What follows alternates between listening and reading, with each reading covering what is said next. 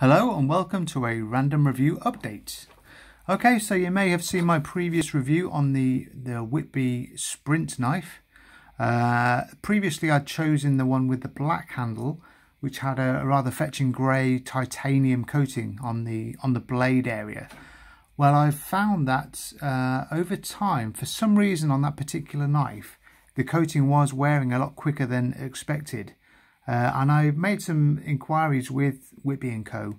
and they felt something just wasn't right with that particular model. Um, so they're very kindly offered to exchange that and they're going to run some tests on the example I had.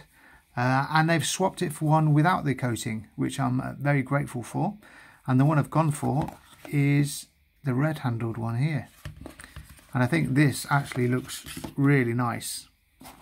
Again, it's an aluminium handle or scales, um, but it's got a lovely sheen to it, which you probably can't quite see on camera there, but it really does look nice. And as you'll see, this is the plain blade, so it's just a steel blade instead of the titanium coating on there.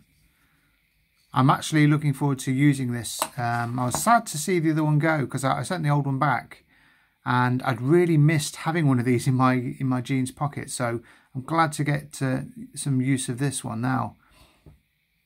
But it really is a lovely looking small knife there.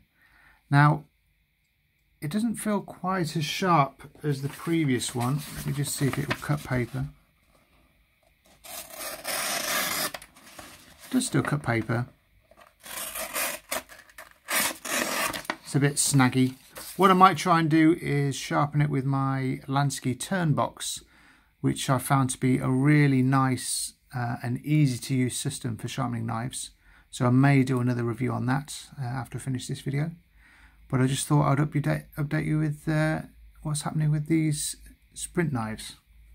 Um, I am pleased with this. I am looking forward to carrying this as an EDC. Okay, thanks very much.